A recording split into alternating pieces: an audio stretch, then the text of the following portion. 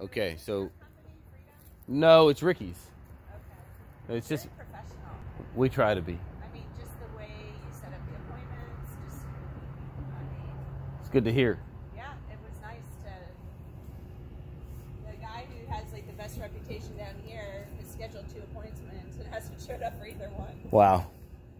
So, Well, it's good to hear. It's nice to hear. Thank you. Okay, so what we're trying to do here is replace the septic tank right here, right? So it's a four bedroom house. She has the plans from an AOSE. Uh, what's what they say is happening is that there's too much water entering the tank to get to the pump, right? I don't think there's anybody in the house, and I'm pretty sure the pump is on right now.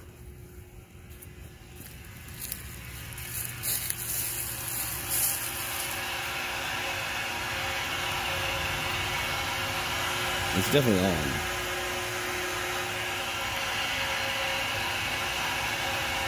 It's pumping. The pump is working.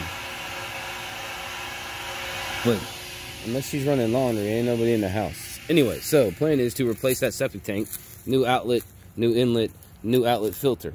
Okay, four bedroom house, so probably thousand to twelve hundred gallon tank. I'll get a picture of the plans. It's right here now. This tree, that crepe myrtle. Fun. All right, now this hill. I mean, you can see it on the house, right? And it gets higher up here, and so the way in is through here. Probably have to do some tree trimming. It's definitely a little bit of a rocky soil, not too bad. But we come in and come around here, she's gonna lose some soil somehow. Uh, you made it easy, man.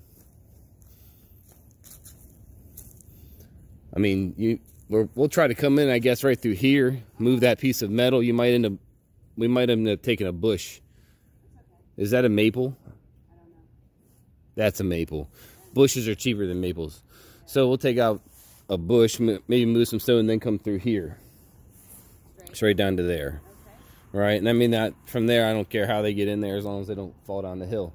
It will tear up your yard a little bit. We'll seed and straw it as we as we go. But it's still gonna Okay. You're gonna be like, oh god, are they gonna fix that? but then we'll be able to, you know, get, get rid of the old tank, crush and fill it, or whatever we need to do, set the new tank in place, and then connect it, get it working, get it inspected. Okay. All right.